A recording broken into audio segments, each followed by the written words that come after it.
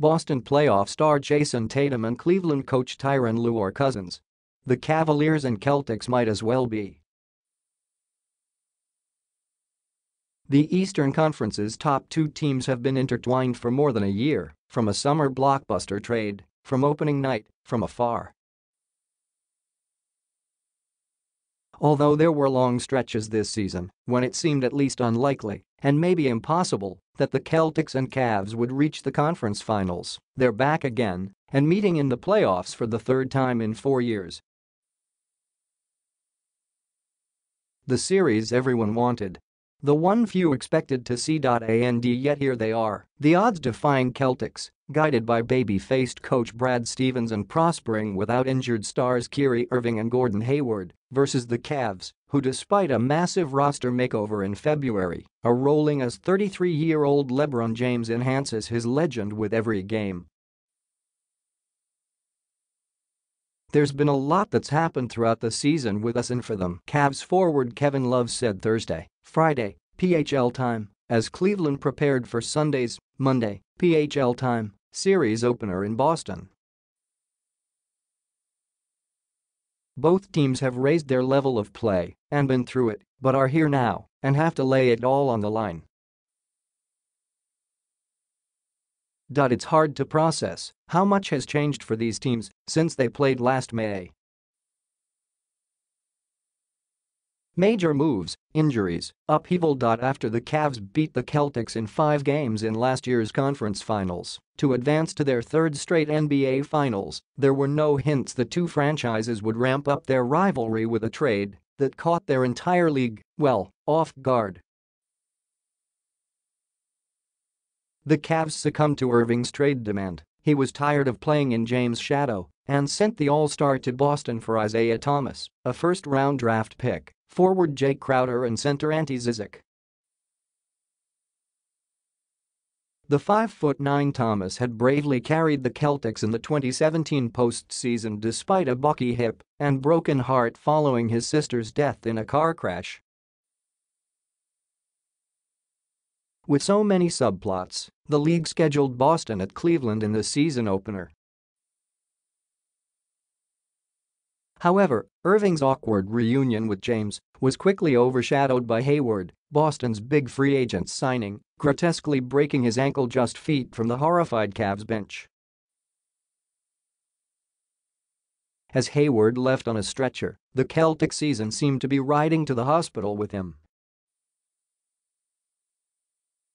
Boston, though, showed grit and reeled off 16 straight wins before injuries resurfaced.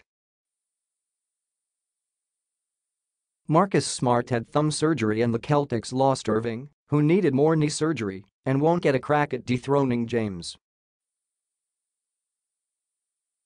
Irving will watch this series from the bench. Thomas is much farther away.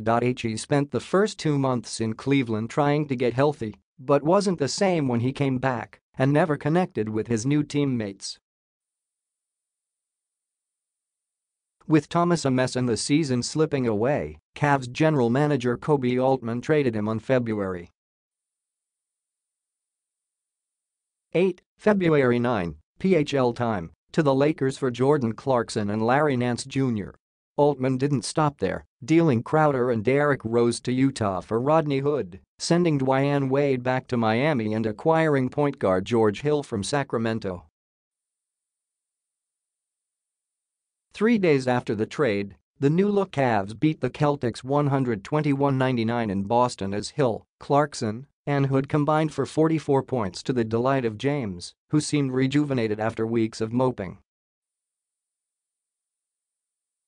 He's now on a mission as he prepares to face the Celtics for the seventh time in the postseason.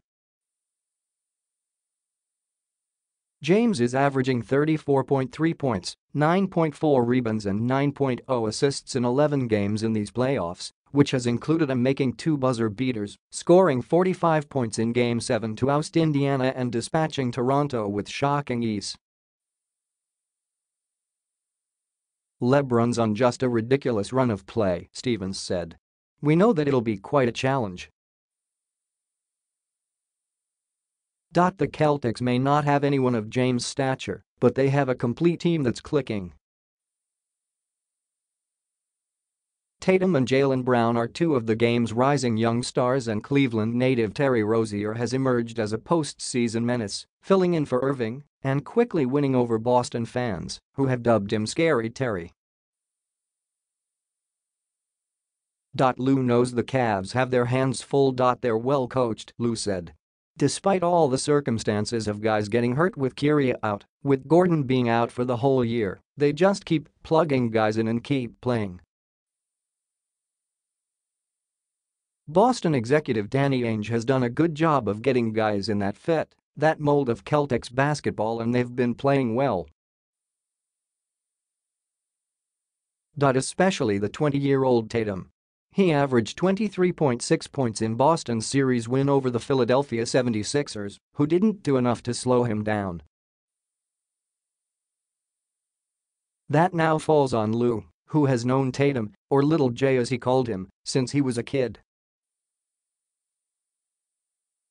They're related on Lue's grandfather's side of the family. He's not scared, he's not afraid, and he's always been that type of kid, Lue said. He wants these type of moments, and he's taking advantage of it. With Kyrie and Gordon going down and him having a chance to play the minutes he's been playing, starting and playing in the playoffs the way he has, he's taken full advantage of it. But he's never been scared, he's never been afraid of the big moment. You can see that. Six years ago, a 14-year-old Tatum posted a picture of himself wearing a replica Kobe Bryant jersey with James on Twitter and asked Cleveland's superstar to follow him. Lue smiled when shown a picture of his cousin. Now look, he said. That's crazy,